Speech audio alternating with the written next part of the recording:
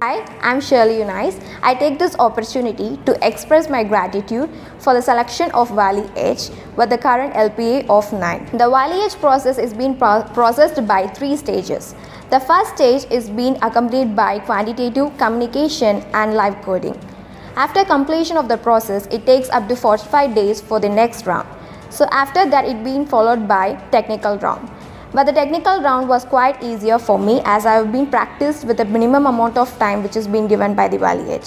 And after the process, I was being selected and being called for HR interview. The HR interview questions were raised regarding to the location and what are the time processes which you've been allocated to study a particular concept and my interest in hacker ranks. And all these processes are being accompanied by college and also my uh, staffs where the Wiley Edge also provided the additional features and the guide materials to study for the particular process. The additional features are provided by the Wiley Edge in which I can able to train myself better than in normal ways.